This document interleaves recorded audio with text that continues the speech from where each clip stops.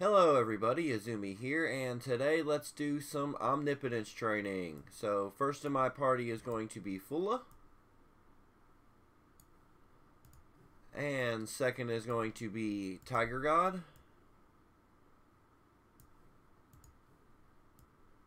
Third in the middle is going to be Forseti. And fourth is Brunhild, silver version. And last is going to be Senia. Also keep in mind that a lot of my heroes are not um, Eclipse Field, so it's going to be hard healing without it. So there we go. Let's go.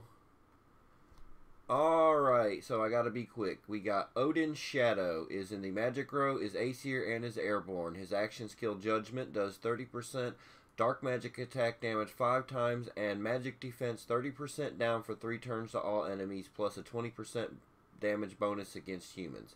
His auto skill does dark magic attack and dark wound for 3 turns to all heroes in the connect. Dark wound applies to humans, elves, and beasts. On 7 star, it's a chaos field. On 8 star, there's a high chaos field and Eclipse Field, as well as Shadowbound for three turns to all heroes in the Connect battle. Shadowbound hits humans, elves, and beasts. Uh, the most effective element is going to be light.